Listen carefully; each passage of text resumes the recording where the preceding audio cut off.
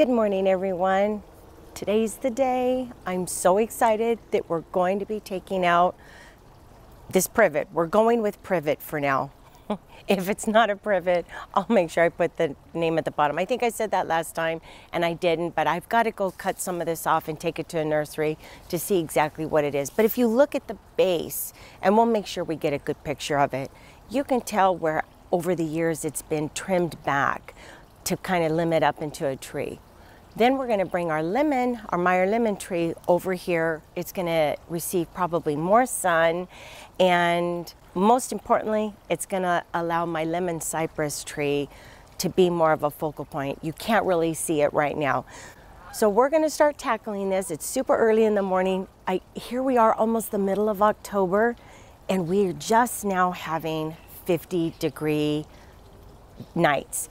And when I say 50, I mean 58, 57. We haven't hit the low 50s, but I'll take it. That means when it starts out cooler in the morning, it takes it much longer for it to warm up during the day. Before we start tackling this tree, I wanted to show you, we just did a back patio and backyard tour, and I wanted to show you the bush the salvia leucantha that we're going to be taking out just within this short period of time it's already been blooming. So let me show you that real quick and then we're going to start this. Well here we go. When I showed this just a week ago week and a half ago this was not in bloom yet and you can even tell how tall the artemisia is getting as well. But they're so vibrant and this will bloom for well I would say all the way through December, and then it's coming out. And we've already started moving the early blue hydrangeas, but let's start tackling that tree.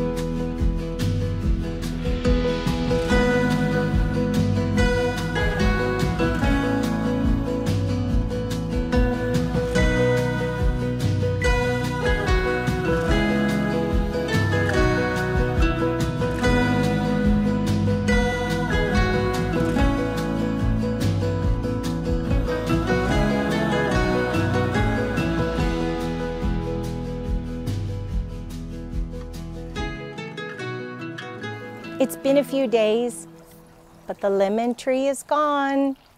I will show you where we put it in just a few minutes, but I just wanted to show you from this angle how you can see the lemon cypress so much better and you can tell all the new growth that this is pushing right now.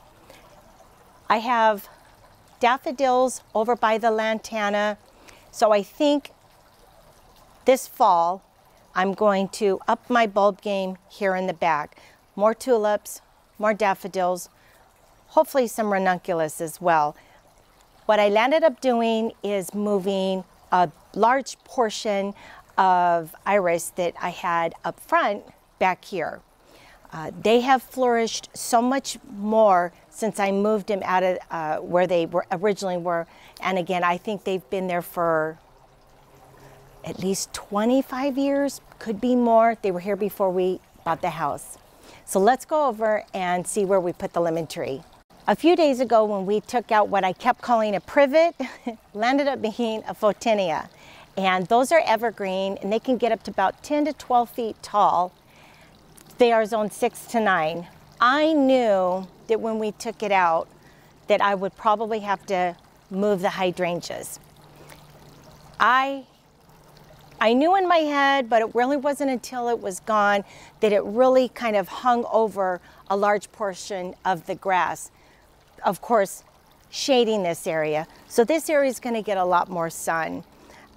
But I do like that the photinia is gone and the Meyer lemon tree is here now. It opens this area up. I feel like I feel like I can breathe a little bit more. I know that probably doesn't make sense, but it just seemed like it blocked this whole area. So I am glad that it's gone.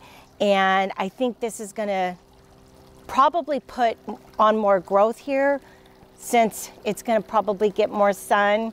We're just gonna have to revamp the flower bed down here. But until then, I'm gonna enjoy what it looks like right now. I'm happy that you can see the lights that go all the way across the back wall. Even though I lost a few vital branches and several lemons, I do have some that I'm gonna be able to harvest this year.